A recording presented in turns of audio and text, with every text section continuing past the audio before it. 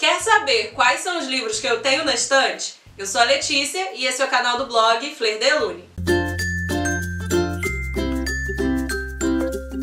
Faz muito tempo que eu quero gravar aquele famigerado vídeo de Bookshelf Tour, mas sempre que eu pensava em fazer isso acontecia alguma coisa ou faltava alguma coisa para que eu pudesse realmente gravar. Além disso, eu tenho duas estantes de 2,21 metros e 12 nichos cada uma. E além dos livros, tem alguns colecionáveis e também outros objetos que ocupam esse espaço. Só que finalmente eu consegui resolver todos os problemas logísticos que impediam a gravação deste vídeo, tirar todos os objetos, tudo que eu tinha que tirar do lugar e finalmente mostrar quais livros eu tenho na estante. Vem comigo! Eu vou começar pelo último nicho superior da primeira estante, que é onde eu guardo os meus livros da editora Novo Conceito, e também alguns do grupo editorial Record, começando pelo selo Galera Record. Vamos Juntas, da Babi Souza, Boa Noite, da Pan Gonçalves, Uma História de Verão, da Pan Gonçalves, que eu comprei da autora na Bienal e tá autografado, Menina Veneno, da Karina Risse, que eu também comprei na Bienal e também está autografado pela autora, A Livraria 24 Horas, do Mr. Penumbra, do Robin Sloan, Angus, o Primeiro Guerreiro, do Orlando Paz Filho, Os Caçadores de Lendas Darkmouth, do Shane Hegarty, Branco como a Neve, da Sala Simuca, Sussurros do País das Maravilhas, da A.J. Howard, Desintegrados, do Neil Schusterman, A Menina que Não Acreditava em Milagres, da Wendy Wonder, Starters, da Alyssa Price, Caraval, da Stephanie Garber, Zumbitos, do Alan Goldshire, Princesa das Águas, da Paula Pimenta, Formaturas Infernais, que é um livro que eu li quando eu era adolescente e traz cinco autoras que tem cada uma um conto. Tem a Meg Cabot, a Stephanie Meyer, a Michelle Jaffe, Kim Harrison e a Lauren Miracle. Outro conto sombrio dos Green, que é uma coletânea organizada pelo Adam Gidwit, 13 da FML Pepper, A Caçadora de Bruxos da Virginia Becker e Magônia da Maria Delvana Hadley. No segundo nicho, nós temos Warcraft, que é o livro do filme oficial, Warcraft Durotan, Holy Call, uma fábula animal do David Duchovny, O Triunfo de Sharp, que é do Bernard Cornwell, Os Segredos Matemáticos dos Simpsons, do Simon Singh, 17 Luas, da Margaret Stowe e da Cami Garcia. 16 Luas, com essa capa do filme que eu odeio, que é das mesmas autoras, a Cami Garcia e a Margaret Stowe. Hyde, do Daniel Levine, que inclui a edição integral de O Médico e o Monstro, do Robert Louis Stevenson. O Menino Feito de Blocos, do Kate Stewart, Dados e Homens, do David M. Walt, Entre Quatro Paredes, da B.A. Paris, Boneco de Neve, do John Nesbo, com essa capa nova em comemoração ao filme, Polícia, um caso de Harry Hole, que também é do John Nesbo, Em Águas Sombrias, da Paula Hawkins, um legado de espiões do John Lee Carré e a edição comemorativa de 50 anos do Espião que Saiu do Frio, que também é do John Le Carré. Do outro lado, na parte superior da outra estante, a gente continua com o grupo editorial Record com A Torre do Terror, da Jennifer McMahon, Segredos de Sangue, de Tess Gerritsen, O Mito de Lincoln, do Steve Barry, Testemunha, do Scott Turow, Destroçados, da Karen Slaughter, Gênese, também da Karen, Roubo Apocalipse, do Daniel H. Wilson, O Casal que Mora ao Lado, da Sherry Lapena, Ana Vestida de Sangue, da Kendall Blake, As Épicas Aventuras de Lydia Bennett, da Kate Horrick e da Rachel Keeley, Todas as Garotas Desaparecidas, da Megan Miranda, o quarto livro da Saga dos Corvos, da Meg Stiefvater, que é O Rei Corvo, quarto da Emma Donald, que deu origem ao filme O Quarto de Jack, o livro da Valesca, Sou Dessas, Pronta para o Combate, que foi publicado pela Bestseller, e O em que Disse Sim, da Shonda Rhimes, que é a criadora das séries Grey's Anatomy, Scandal e é produtora executiva de How to Get Away with Murder. Passando para o último nicho com livros do grupo editorial Record, eu tenho Carbono Alterado, do Richard Moore, Morgan, Um Pequeno Favor, da Darcy Bell, Um Passado Sombrio, do Peter Straub, A Guardiã de Histórias, da Victoria Schwab, O Evangelho de Locke, da Joanne M. Harris, O Que Ela Deixou, do T.R. Richmond, Noturnos, do John Connolly, Frozen, Mundo de Gelo, Coração de Fogo, da Melissa Dela Cruz e do Michael Johnston, O Herói Improvável da Sala 13B, da Teresa Totten, Socorro, Meu Vídeo Bombom na Internet, da Marnie Bates, o Pássaro Noturno, da Alice Hoffman, e a coleção dos manuais de Star Wars, começando com o Manual do Império, o Livro dos Sith, o Código do Caçador de Recompensa, e O Caminho Jedi. Os meus eu coloquei, tanto no livro do Sif quanto no Caminho Jedi, uma capinha de plástico. Aí eu ainda tenho dois livros do Stephen King, que é o Revival e o Sobre a Escrita. Descendo pro próximo nicho, eu tenho alguns livros da Dark Side Books, começando por Star Wars, a trilogia, J.R.R. Tolkien, O Senhor da Fantasia, a coleção das Crônicas de Amor e Ódio, com The Beauty of Darkness, The Head of Betrayal, The Kiss of Deception e o livro adicional, que são as Crônicas de Morrigan. Aí eu tenho Donnie Darko, que é uma das edições mais bonitas que eu tenho na estante, Confissões do Crematório, da Caitlin Doug, e encerrando a coleção Dark Side, o Ecos, da Pam Munhoz Ryan. E aí eu tenho essa edição de colecionador das Crônicas de Gelo e Fogo, do George R. R. Martin, que é dos volumes 1 ao volume 5. No próximo nicho ficam os livros da Arqueiro e também da Sextante, e esse avulso aqui, que é a Estratégias 2.0 para mídia digital da Beth Sad, que eu uso na minha pós-graduação. Aí eu tenho o Código da Vinci, do Dan Brown, A Cabana, do William P. Young, Confia em Mim, do Harlan Coben, um Monge e o Executivo, uma história sobre a essência da liderança, do James C. Hunter. Aí a coleção do Guia do Mochileiro das Galáxias, com o Salmão da Dúvida. E tem outra coisa, que foi escrito pelo Elwin Colfer, e a série original do Douglas Adams com Praticamente Inofensiva, Até Mais e Obrigado pelos Peixes, A Vida, o Universo e Tudo Mais, O Restaurante do Fim do Universo e O Guia do Mochileiro das Galáxias. E aí eu tenho aqui em cima essa edição ilustrada no sistema Scanimation de Star Wars. Eu não sei se vai dar pra ver, mas quando você abre a página, os... as imagens se mexem. Seis anos depois do Harlan Coben, Julieta, da Anne Fortier, Água para Elefantes, da Sarah Gruen e a Saga do Tigre, da Colin Hook, com A Promessa do Tigre, A Maldição do Tigre, O Resgate do Tigre, A Viagem do Tigre e O Destino do Tigre. Agora falando sobre quadrinhos, eu tenho um nicho aqui na estante só para as minhas coleções mensais. É, eu tenho alguns encadernados também e eu não vou tirar um por um porque eu tô pensando em fazer um vídeo só de quadrinhos mas falando por alto, essa aqui é a coleção Vingadores, os heróis mais poderosos da Terra. Aqui eu tenho uma edição histórica da coleção histórica da Marvel, que é do Capitão América.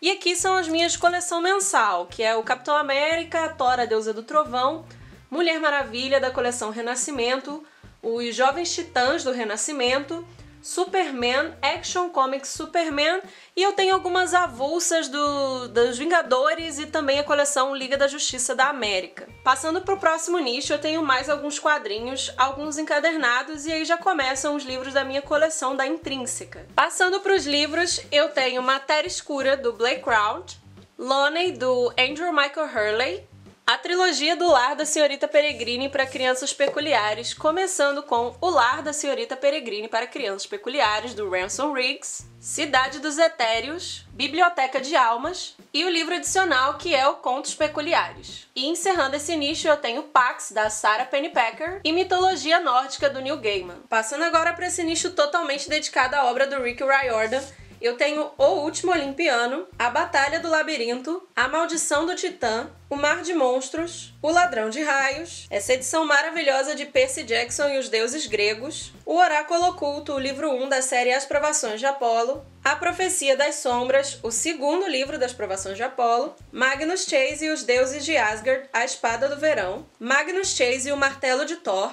e o desfecho da trilogia Magnus Chase e o Navio dos Mortos. Eu tenho também Semideuses e Monstros, O Sangue do Olimpo, A Casa de Hades, A Marca de Atena, O Filho de Netuno e O Herói Perdido. Aí eu tenho também esses quatro livros adicionais que são Percy Jackson e os Olimpianos, Os Arquivos do Semideus, Percy Jackson e os Olimpianos Guia Definitivo, o Guia dos Mundos Nórdicos, que é da coleção do Magnus Chase, e os Diários do Semideus.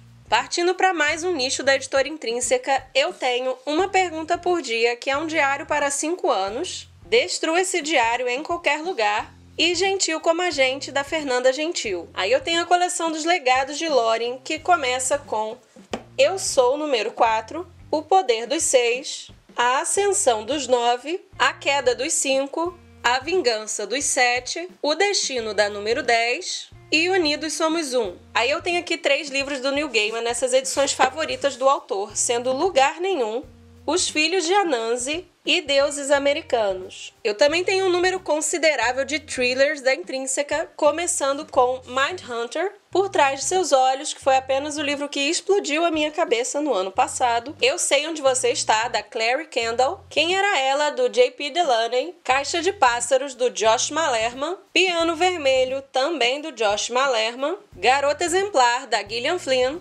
Lugares Escuros, também da Gillian Flynn e O Adulto, que é um conto da Gillian Flynn. Do outro lado, nós temos os livros de Harry Potter. Eu tenho essas duas edições maiores, que é O Livro das Criaturas de Harry Potter e Harry Potter, a Magia do Cinema, Harry Potter e a Criança Amaldiçoada, Harry Potter e as Relíquias da Morte, Harry Potter e o Enigma do Príncipe, Harry Potter e a Ordem da Fênix, O Cálice de Fogo, O Prisioneiro de Azkaban, A Câmara Secreta e Harry Potter e a Pedra Filosofal, todos eles da J.K. Rowling. Eu ainda tenho esses três livrinhos adicionais, que é Os Contos de Beedle o Bardo, Quadribol através dos séculos e Animais Fantásticos e Onde Habitam. Aí eu tenho três edições daquelas novelizações que a Novo Século está fazendo de quadrinhos, sendo Guerra Civil, X-Men Espelho Negro e Guerras Secretas. Além desse Marvel Comics A História Secreta do Sam Ho, que foi publicado pela editora Leia e eu usei muito no meu trabalho de conclusão de curso sobre o Capitão América.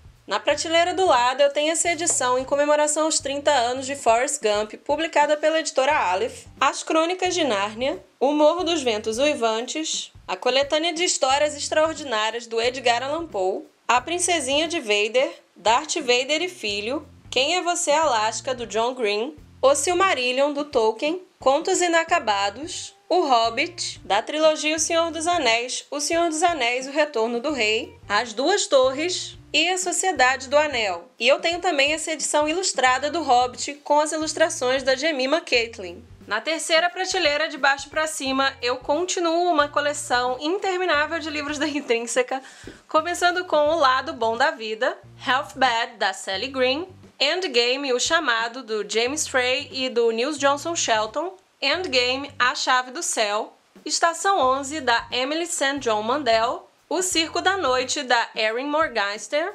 Aconteceu naquele verão, O Presente do Meu Grande Amor, Até que a Culpa nos Separe da Liane Moriarty, Pequenas Grandes Mentiras também da Liane Moriarty, Antes que eu vá da Lauren Oliver, Depois de Você da Jojo Moyes, como Eu Era Antes de Você, da Jojo Moyes, que o meu está autografado pela autora, Paris para um e outros contos, A Menina que Roubava Livros, Toda Luz que Não Podemos Ver, Gequerella, Nimona, da Noelle Stevenson e O Mundo Imaginário D, da Carrie Smith. E na última prateleira da Intrínseca na estante, eu tenho Orgulho e Preconceito e Zumbis, A Breve Segunda Vida de Brie Turner, A Química, da Stephanie Meyer, A Hospedeira, da Stephanie Meyer, Crepúsculo, Vida e Morte, que é aquela versão reimaginada em comemoração aos 10 anos, e do outro lado tem o Crepúsculo normal e os livros da saga Crepúsculo mesmo, sendo Crepúsculo, Lua Nova, Eclipse e Amanhecer. Aí eu tenho Não Se Iluda Não, da Isabela Freitas, Surpreendente, do Maurício Gomide, Extraordinário, da RJ Palácio, A Sutil Arte de Ligar o Foda-se, do Mark Manson, meu livro Eu Que Escrevi, da Dani, de Girls in the House, que na verdade é uma criação do Raoni Phillips, Cidades de Papel, do John Green, O Teorema Catherine, A Culpa é das Estrelas, Tartarugas até lá embaixo, também do John Green, e Bem-vindo à Vida Real, do Christian McCaig Heidicker. Do outro lado, eu tenho Diálogos Impossíveis, do Luiz Fernando Veríssimo, 15 Dias, do Vitor Martins, A Cidade do Sol, do Khaled Hossein, As Aventuras de Pi, do Ian Martel, Doctor Who, 12 Doutores, 12 Histórias, Por um Toque de Magia, da Carolina Munhoz, Criaturas Estranhas, um livro de contos organizado pelo Neil Gaiman, o Canto dos Segredos, da Tana French, O Livro das Coisas Estranhas, do Michael Faber, A Mulher na Cabine 10, da Ruth War, Em um Bosque Muito Escuro, também da Ruth War, Crave a Marca, da Veronica Root, Philside, da Artana, do André Bianco, e Eu Estou Pensando em Acabar com Tudo, do Inha In Raid. Ainda da editora Rocco, nós temos Mostre Seu Trabalho, do Austin Kleon, A Arte da Criatividade, do Rod Judikins, O Design da Sua Vida, do Bill Burnett e do Dave Evans, Wonder Woman na Super Hero High, Supergirl na Super Hero High, Batgirl na Super Hero High, Eragon do Christopher Paolini, Deixa a Neve Cair, que tem três contos de Natal, um do John Green, um da Marin Johnson e um da Lauren Miracle, Comportamento Altamente Lógico do John Corey Divergente da Veronica Root, A Esperança da Suzanne Collins, Em Chamas, Jogos Vorazes, quando Tudo Faz Sentido, da Amy Chang, A Improvável Teoria de Anne Zack, do Brian Catcher, Lembra Aquela Vez, do Adam Silveira, Inesquecível, da Jessica Brody e As Vantagens de Ser Invisível. No próximo nicho, continuando com a editora Rocco, nós temos Foxcraft, A Magia da Raposa, Status em Muitos Relacionamentos Complicados, do Matterson Perry, o Clube de Leitura de Jane Austen, da Karen Jo Fowler, Jane Austen Roubou Meu Namorado, da Cora Harrison, O Placebo Junkins, de J.C. Carlson, A Busca Sofrida de Marta Perdida, da Carolyn Wallace, Você é Fera, da Jen Sincero, e O Bom do Amor, da Laís Soares e da Cris Mello. Aí eu tenho esse livro aqui, Get Love, O Manual do Amor Nerd, do Eric Smith, e o Manual da Garota Geek da Sam Max. Aí começa a minha coleção do autor Paulo Coelho. Eu tenho duas edições de Verônica Decide Morrer, essa daqui que foi publicada pela Sextante e essa daqui com a capa nova publicada pela Paralela. Eu também tenho aqui Manual do Guerreiro da Luz, O Alquimista, A Espiã, Brida, O Diário de um Mago, 11 Minutos, Chique Profissional da Glória Calil, A Rainha Vermelha da Victoria Aveyard e o volume 2 da Rainha Vermelha, Espada de Vidro, também da Victoria Aveyard. No último nicho de livros aqui da estante, eu tenho três nichos de autores independentes, a minha coleção da Belas Letras, um livro da Rocco e dois da Mundo Cristão. Intergaláctica, do F. Petrota, Log 1525, do Bruno Demetrios, os Deuses de Belcamar, a Academia dos Cavaleiros Arcanos, do Caio H. Ramos. Deus está com você, do Max Lucado. Deus está no controle, também do Max Lucado. Desperte a diva que existe em você, do canal Diva Depressão, que também é um blog uma página no Facebook eu adoro eles. Luz em Nevoeiro, do Yuri Miller. 101 Profissões Fora do Comum para Pessoas Nada Normais, do Anderson Couto e do Emerson Couto. Bruto do Ted Correia, Desvende Meu Estilo, Desvende Meu Coração, O Poder do Tempo Livre do Luciano Braga, Morando Sozinha da Fran Guarnieri, o primeiro Panela Terapia da Tatiana Romano, Panela Terapia Cozinha das Estações, também da Tatiana Romano, Grumpy Cat, Mãe Sem Manual da Rita Lizauskas, Amor à Moda Antiga do Carpinejar, Vai Lá e Faz, do Tiago Matos, Sensacionalista Isento de Verdade, Doces de Cinema, da Isadora Becker, Dica da K e Natal, Férias e Outras Histórias, da Ana Cardoso. E do outro lado eu tenho esses dois nichos com a minha coleção de mangás da Turma da Mônica Jovem, Shaman King, O Tigre e o Dragão e a primeira edição de Sakura Card Captors.